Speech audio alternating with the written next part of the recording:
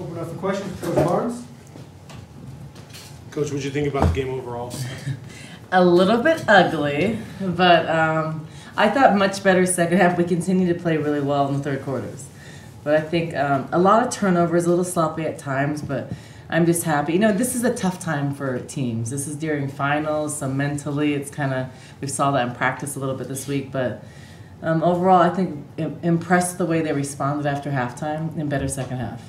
What do you think about Deja James and his, especially her shooting from the outside? I th- yeah, she's she's able to. She can shoot the three. Um, she's done that in practice. But I thought that what she did, and I liked um, the fact that she didn't force things early. And, and when she went in the game, she passed up. Everybody was like, "Oh, she passed up a shot," but it was I called an offense. She was trying to, to execute. I really like that. Um, five for eight, really good. I think I don't know. She was close to a career high, right? She was uh, four way. Four, four, three way. So, but she was great. I think. Um, you know, one turnover because our postmen turn the ball over a lot. Um, with travels or not handling double teams well, and then to be um, one for three from the three, I thought she took some pretty good shots. She did a good job. Do you think the turnovers are related to them just trying to play too fast? No, I think the turnovers are because because all of a sudden we love to jump and make passes, and we've been working on that a lot. I'm going to continue to work on it every day, but jump stopping and making passes and not trying a lot of times we want to thread the needle we want to throw the million dollar pass instead of just making the easy reversal. When we make the easy reversal we get open shots but i think that it's just a lot of unforced turnovers. That we had a lot a lot in the first half i think 16 or something in the first half. So second half better but just still we, we can't average 20 turnovers a game it's just it's not good like slow starts have been an issue is that kind of why is that why Julia started tonight I'm trying. I was trying to see. Um, you know, I'm trying to find a combination that can change that. And it's it doesn't mean that Julia's going to stay in a starting lineup or Lauren's not. It's just trying to give me a different look to see what kind of energy we can have. But but then I think that um, Lauren did a really good job of still staying in it mentally, coming in and giving us some great minutes. I thought she played a very good game tonight.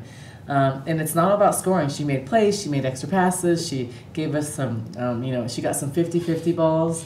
So I think that she did a really good job but yes, I am trying. I was trying to address the slow starts, and you know we're still not where I want us to be. But um, if our first quarters were like our third quarters, I'd be a little happier.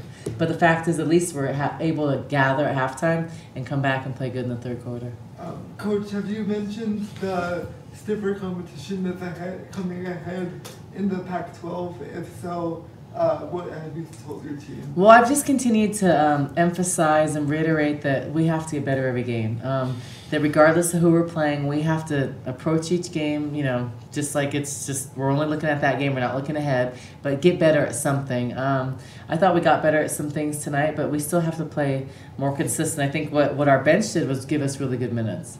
Um, you know, I know that the next challenge is Kansas on the road, so that'll be a, that would be a good win if we can go into Kansas and get a win. But it's gonna be hard. Um, but every every game is preparing us for the Pac-12. But you're right, the stiffer competition competition in Pac-12 will be a challenge. So that's why we have to conti- continue these next few weeks to get better and prepare for it. Um, is there a certain player that has been stepping up to uh, encourage the team to play at a higher level? Well, I think that um, we have different people lead at different times. Um, I think, but the const one of the constant leaders is um, LB LaBrittany. I think that she did a really good job yesterday. She got on one of her teammates, and and I was happy to see that because I think that your team becomes a lot better when your players can hold each other accountable. Um, and I think you see that with Melina a lot. Melina's even when she's not at the one, she's um, guiding her teammates, and she's a little bit more vocal when Lucia's on the floor because Lucia isn't as vocal because the language barrier is a little bit harder. So I think Melina's really done a good job of that, and I think um, from the bench, our bench has been really good. Um, Eugenie has been very, very good on the bench. What she does is, regardless if she plays or if she doesn't, um, she will, when her teammate makes a three, she goes up and gives her teammates high fives. Those little things are very important for me as a head coach. Um, I think that it takes a lot, and it's out of yourself to do that, and it's it's very selfless, and um, it's it's a sign of a really good teammate. And I think she's done a good job of keeping the bench engaged by doing that stuff. Because they were undersized, um, you guys outscored them 41 18 in the paint, uh, moving into Pac-12 play later on down the road, mm-hmm. um, and seeing what Deja's done tonight, especially from the outside are you going to encourage her to shoot that a little bit more often if she's open, or? Yeah, I think that I'm I'm a coach to where if you're open and you and you practice on that shot, like we practice on trail threes or reversal three th- post players getting the um, three point shots at the top of the key. So if you're open and it's not the very first pass or it's not after a team's on a run, I think that's a shot that Deja, Bree, Destiny, LB, I encourage them all to take that shot. Um, and I, I think Deja took took that tonight, and, and it was good. Um, I think, but with the undersized team, we continue to try to thread the needle inside. That's where we had a lot of turnovers. That's what I don't like and I don't accept. Um, or off a very fast reversal and the team just went on a run. That's when we don't want that shot. We want to work more into the rest of our offense and make the defense play longer. But yes, um, De- Deja, she continues to work and prove she can make those shots in practice, and she's she's allowed to take those in the game. But you do that in practice. You prove it and you earn that stuff in practice. I don't want like you've never taken that shot in practice and then you come in a game and you take like five of them. That's not acceptable and that's not gonna happen. So um, you know, like I don't remember Belinda taking too many of the one foot floaters over three people in practice. So she's not allowed to shoot those in the game. I was gonna say, uh, Lauren made a couple mid-range jumpers, kind of deep, long twos. Would you like to see her extend out to the three-point line? I would, um, but that's her confidence right now. What, I, but I'm not going to change it right now because she's so confident in that spot. But I think eventually, you know, for her, a lot of it's mental because her foot will be right on the three, and she'll take it. But stepping back, she's not as confident. But that's just something that we're continuing to develop because she's capable of making a three point shot. Um, but I, I like the fact she's taking and making that mid range. That's a really good shot for her. Um, I- and you know, I think that Lauren's given us some really good minutes. So whether she starts or doesn't, she's a great teammate. She comes in and does those little things, doesn't make mistakes, and I like that. Um, but I, like I said, I really like the intangible things that she does. She does a lot of stuff that doesn't show up on the stat sheet, like the extra pass or the quick reversal. Those things are very important for us to be successful. Change of topic. Um, were you one of the lead recruiters for Kelsey Plum when you were at Washington? Yeah, we all recruited, but Kelsey was from San Diego, so um, it was kind of you know recruiting by committee. We never take it. We never considered it ours or mine, and I, I don't do that here on this staff. But yes, I was very involved in her recruiting. what did you think about her breaking the Pac-12? I think? Kelsey's a phenomenal player. She'll be a, a pro player. She'll be a long time pro. Um, I was really happy. Um, you know, she's just she is one of the hardest working players that I've ever been around. I've been around some of the best players in the world for, throughout my career. Um, she there's no one that works harder than her, and just to watch her grow every year and you know watch her evolve into a great leader too. And and you know I challenged her. I was a person that challenged her to be academic all American. She got that. So I, I'm really happy. She's um, someone I still talk to a lot, and you know she's great. What are some of the traits that you saw in her through the recruiting process that maybe you didn't realize afterwards, and then you just realized maybe she was like the, the work ethic? You can't Well, see I- her in high school as much as you can in So I knew she worked tirelessly. I knew that she was a really hard worker, but I didn't know to what extent. I knew um, one of my good friends is one who trains her, um, a guy who I've known for 20 years, Barry. Randall has trained her every day, know, since like eighth grade, so six in the morning. I knew she did that, but it wasn't until I really saw how dedicated she is, how hungry she is from coaching her, then it, it's just like unmatched, and it's really hard to match her. Um, it- there can be a, we can have a three-hour practice. She will do a two a day on her own. So it's just, but it's the thing that separates her. That's what makes her such a great player.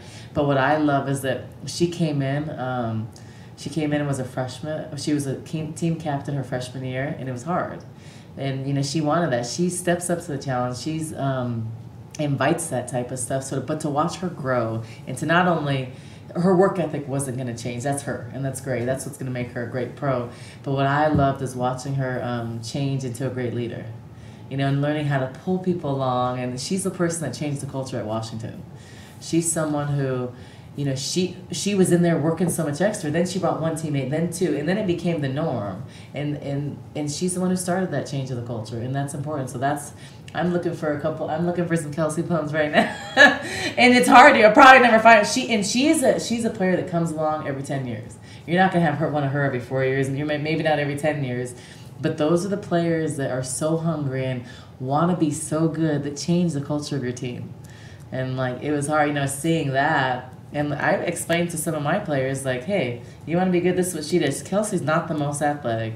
She's not going to jump out of the gym. She's not the best shooter in the world. She just has a mentality that is a never quit, never die, and I'm going to be good. And she works at her craft, and that makes her great. And I'm telling you, I've been around Katie Smith, Lauren Jackson, you know, all the best players in the world over my career, and she's right up there with working the hardest. I mean, I'd say Lauren Jackson, her, and then that's what that's what makes made Lauren the best in the world for so many years.